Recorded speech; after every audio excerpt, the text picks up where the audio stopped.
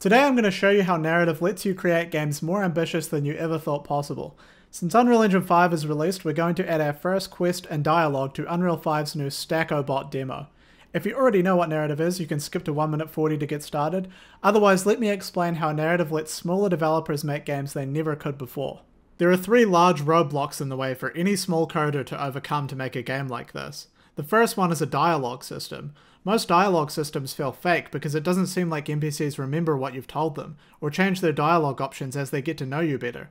But because narrative has an awareness of your player's actions, including what dialogue choices you've made, NPCs can easily remember things you've told them in the past. Most dialogue systems are also too rigid and difficult to customize. Narrative lets you override its functionality easily to add your own features like playing facial animations, for example.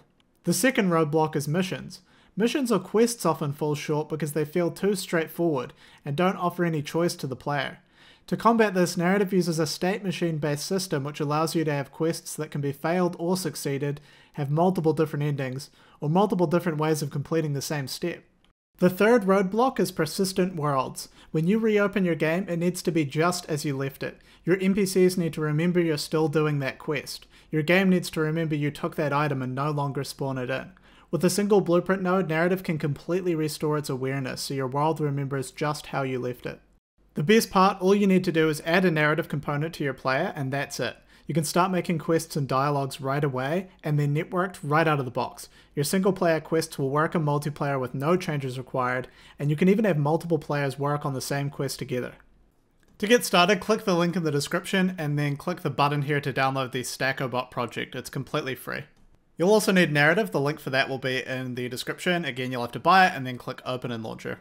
Once you've bought narrative, go to Unreal Engine, library, and then in your vault, you'll see narrative. You can click install the engine, and then you'll just want to select 5 from this drop down here and click install. You should also see Stack-O-Bot here. You can click on create project and then click create to make the project.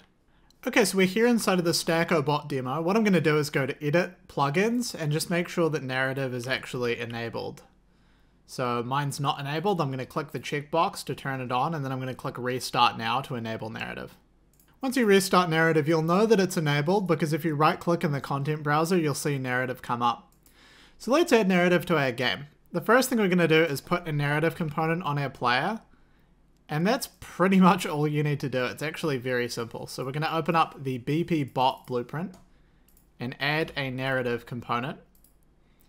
And now we can do quests and dialogues, but I'm also going to put the narrative demo UI on the screen so that we can see that while we play our game. So from the begin play here, I'm going to disconnect that and I'm going to search for create widget. I'm going to search for narrative default UI. And I'm just going to add the default UI to the viewport. So now we'll actually be able to see what's happening when we do quests. You can use a separate narrative component for quests and dialogues, but I'm just going to use the same for both. It's very rare that you would want to use a separate one. Usually you'll use one. And that's pretty much it. So we're going to compile, save, and now narrative is basically in our game. We can start making quests, dialogues. So what we'll do is we'll go to content, and I'm going to make a folder called narrative. Inside of this narrative folder, I'm going to make my first quest. So we'll go to narrative, quest, and I'm going to call it Manny's quest because we're going to add an NPC called Manny that you can talk to later. So we'll open it up. And there's an event graph that you can do all sorts of blueprint scripting in, but we're going to go to the quest graph here. We'll ignore this for now and just focus on the quest start. So what we're going to do is drag out, and you can see that there are a couple of tasks that come with narrative. But we actually want to add our own tasks. Tasks are what you build quests out of, and they're used everywhere in the narrative system. So we're going to right click and make a new task, and we'll call it find item. Narrative will automatically fill out a lot of stuff inside of this. You don't really have to change any of it. So in our quest, we're going to drag out, and you can see that find item now appears as one of our tasks, and we can actually click on it and I'm going to say that in this quest, the player has to find an item orb, right? So you can say find item as the task, and the item's name is going to be orb. And now in the description, I'm just going to say find an orb. Now I'll get rid of this state, and I'm just going to end the quest. So basically the quest that we just made is a very, very simple quest. Once you've started the quest, you need to find an orb and then you've succeeded the quest. So very, very simple. So I'm going to hit compile and save. And now I'm going to open up the bot blueprint again. And after I add the narrative UI to the screen, I'm just going to start that quest that we just made. To start a quest, you just drag narrative in, and then search for begin quest, and then select your quest. And because the UI has been added to the screen, we'll actually see the quest working. Check this out. There you go, my new quest, find an orb. If I take one of these orbs, it doesn't actually complete the quest though. So how do we hook that up? Let me show you. I'm going to search for orb and open up the BP energy orb. And I'm going to go to actor begin overlap. And we know that our character has a narrative component on it, so I'm going to get the narrative component. I'll check if it's valid as well, because why not? And if it's valid, complete a narrative task. And the task is find item, and you can see it's actually asking for the item's name, which is orb. And you can imagine that if you had a thousand different items, you would promote this to a variable, and then each item could have its own name, so you could have hundreds of different items, but we just have orb for now. And now if I hit play, we can actually take the orb, and it completes the quest. Check this out. Super cool. It says my quest succeeded up the top there as well. So already you could play around in our quest here and you could say, for example, find three orbs. And then under quantity, just change the number to three. And now what will happen is you'll have to find three orbs. And this is a really cool thing that Narrative does. It lets you design quests without changing code. You notice I didn't have to change any code, and now my quest supports finding three orbs. And this means that people that don't know how to write code can modify a quest, which is really cool. So there we go, found three out of three orbs. So let's make our first dialogue now. Inside of our narrative folder, I'm just going to make a new blueprint, actor, and we'll call this NPC. And in our NPC, we're going to add a skeletal mesh, and we're going to add a sphere collision. And we'll just make the sphere collision the root, like that. I'm going to make the sphere 200 big. And for the skeletal mesh, I'm going to select SKM bot. And I'll click use animation asset and I'll just make him stand there idle. Okay. So this is our AI that we're going to be able to talk to in the game. What I want is when the player walks into the sphere, I want them to start talking to the AI. So all I need to do is go to on component begin overlap.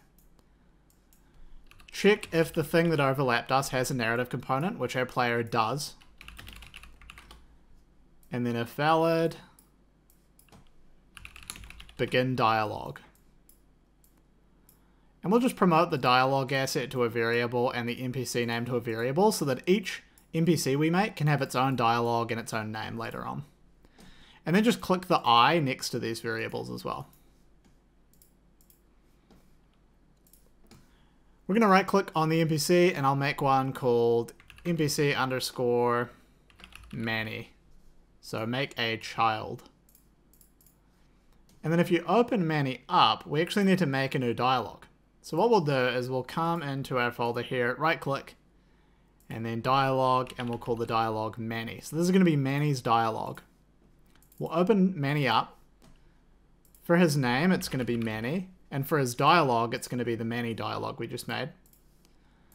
And then you can put Manny in the level somewhere, and let's just make Manny say hi. So I'm going to change this default text to say, Hi, I'm Manny. And then we'll add a option for the player, We'll add two options. We'll say, hi Manny, or sorry, can't talk right now. Now, if we walk up to Manny,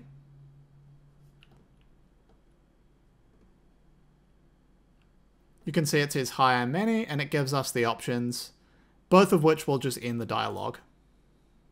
So let's make things a little bit more interesting here. I'm going to add some dialogue to Manny. I'm going to say, Can you help? Our energy stations are going to run out of power. We have some emergency orbs, but they're on top of the bases. Can you get them? And the player can either say, sure, I'll get them. Or, sorry, can't right now. And if we select this option, sure, I'll get them, we actually want to begin Manny's quest, which is to find three orbs, right? So all you have to do is add an event. You can make your own events by um, creating a child of the narrative event class, but there's one that comes with narrative out of the box called begin quest. So you can just click on that and then select Manny's quest. And now you can see here, when I click on this option, it will actually begin the quest for me. The other thing I'm going to do is just open up BP bot and I'm going to disconnect this begin quest node here because now I'm beginning the quest using Manny instead of doing it on begin play. Let's hit play and run up to Manny and try it out.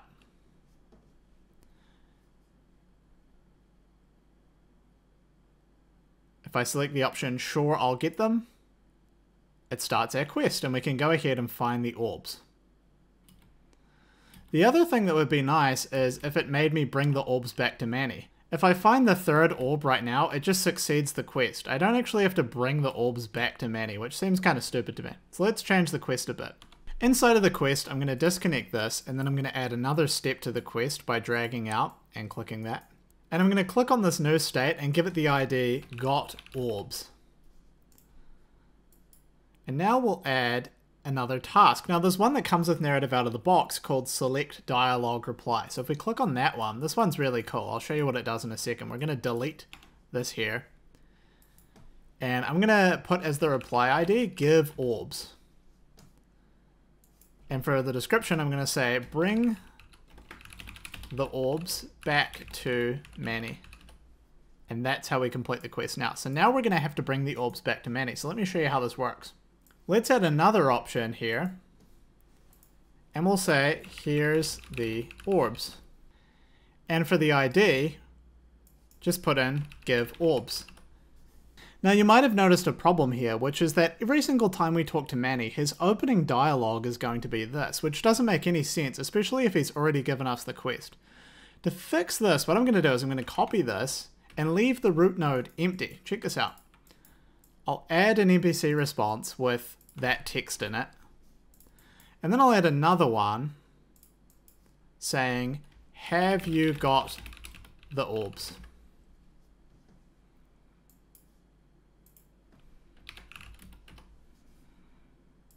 Let's drag out from here. And we'll add another reply for the player saying, no, I don't have them yet, because maybe you don't have all the orbs yet.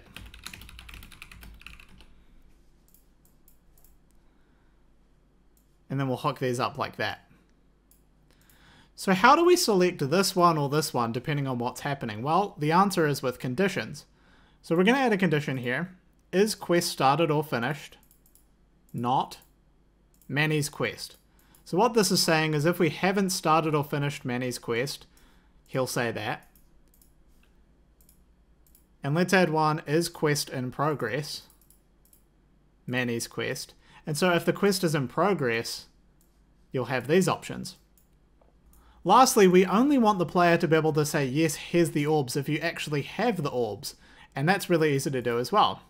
Is quest at state, Manny's quest, got orbs. We're to right click on conditions, copy it, and then just paste it onto here. But on this one, you want to select not.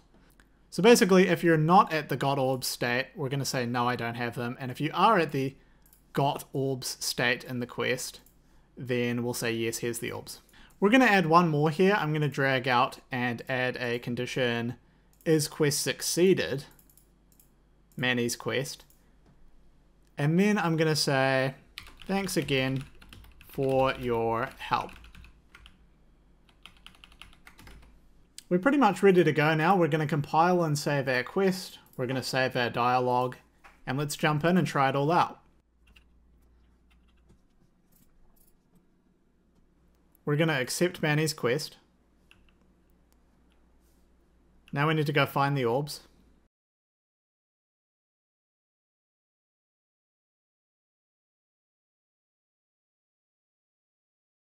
Now it's telling me bring the orbs back to Manny, so I'm going to bring them back to him. He's going to say, have you got the orbs?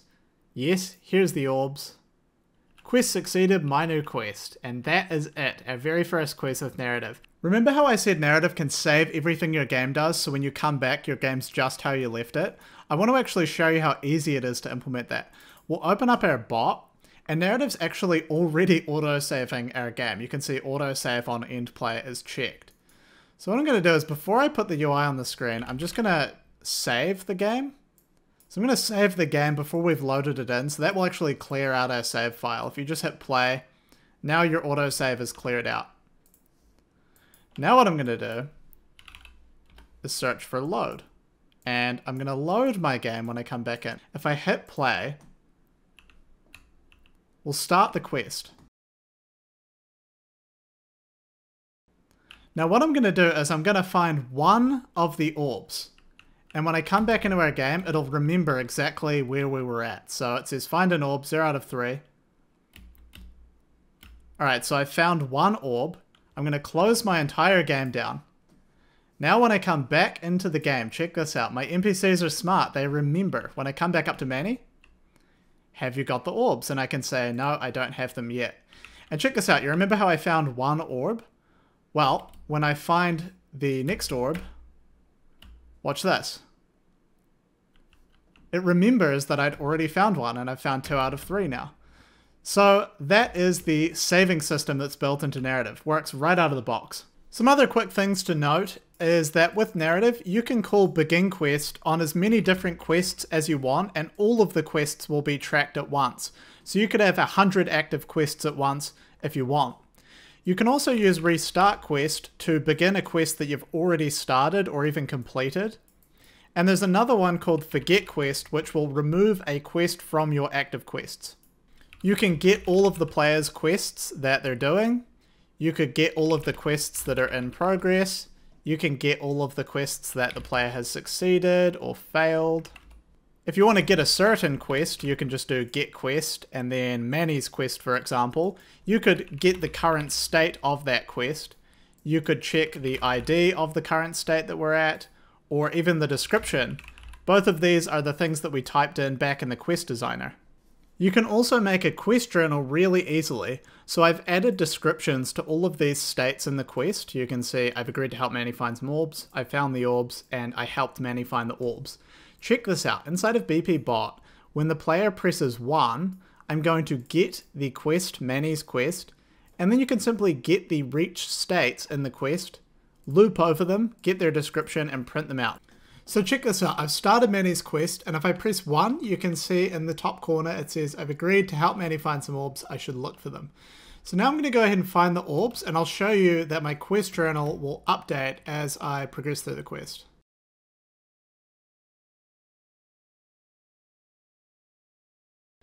Okay, so now that I've found the third orb, I've moved on to the next step in the quest, and if I press 1, you can see my quest journal now says, I found the orbs, I should bring them back to Manny. So you can see how by checking the reach states, it's really easy to get a quest journal put together. I'm going to complete the quest, I'll show you that my quest journal will update again. So press 1 again, you can see I found the orbs quest complete. So even if you've completed a quest, you can still grab that quest from your quests and access all the data in there as well. We've kept it pretty simple here. There's definitely a lot more features that we could add, but I'm going to keep it nice and simple for the first video. In the next video, I'll get a little bit more advanced and show you some of the coolest stuff you can do with narrative. Anyways, I hope you guys enjoyed the video. I'll see you later.